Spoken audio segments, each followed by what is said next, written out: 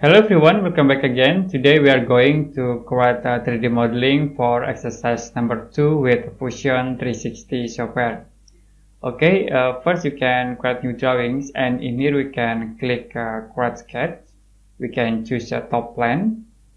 I will create a rectangle object with uh, this option, center rectangle.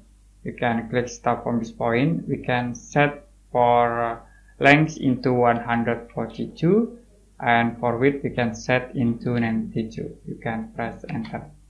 The next uh, I will create line start from this point to this point. Uh, you can change into construction lines. Okay we create again from this point into this point. You can click cut this point. We can create circle in here. And I will set uh, radius for this uh, circles 8 or you can set into 16 for diameter next uh, we can change uh, in here into lines. We can set the context line. You can click and it will be automatically changed into this uh, form. The next I will use uh, dimension tools to set dimension. In here we can set into 21 okay we create again from this point into here. We can set into 21 now you can use uh, mirror tools. You can click here mirror, select at this uh, circle objects and for mirror line we can select uh, this construction lines. Click OK. We use uh, mirror command again. We can select uh, these two circles. For mirror line we can select at uh, this uh, construction line. You can click OK. Now you also can delete uh, this construction line and then I will use uh, fillet tools in here you can fillet at this corner and we can set for radius into 10 we fill again in this point with our radius 10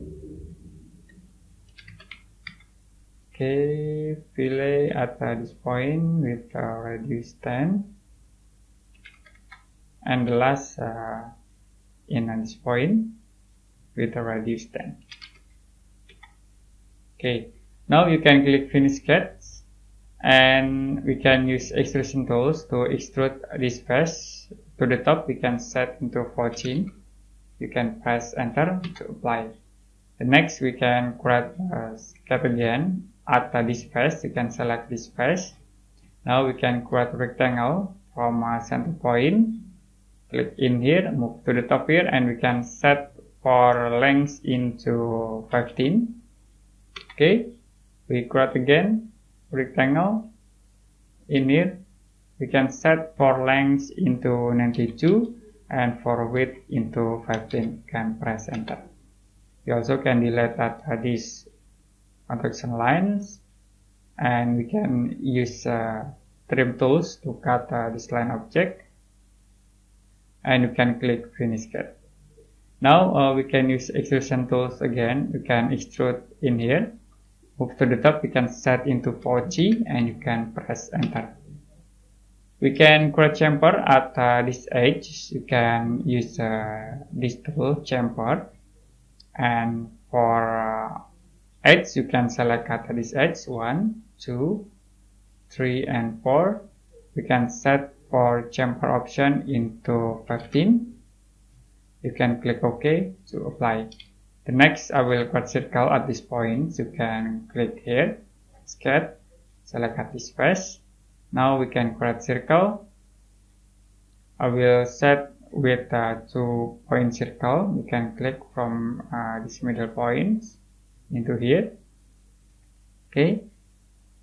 The next you can click uh, finish sketch and we can use extrusion tools.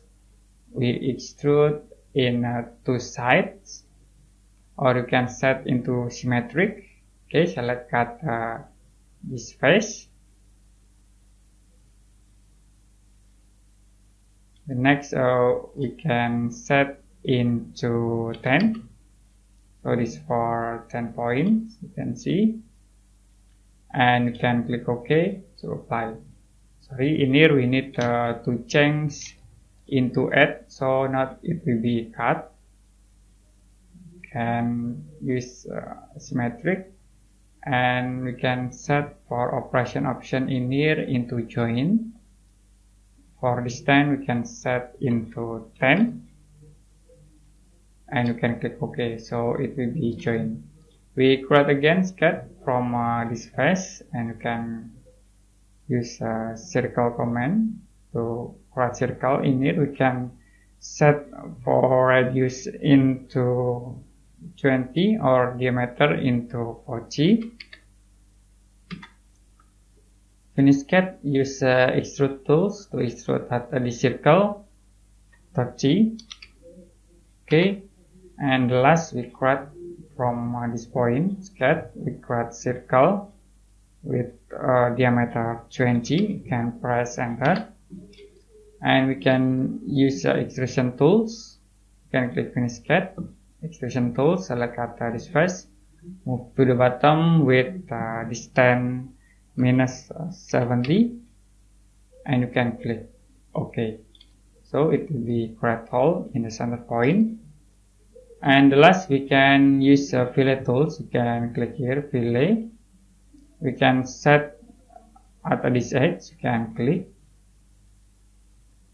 Okay at this point also in here and we can set for fillet radius into 2 you can click OK to apply fillet tools.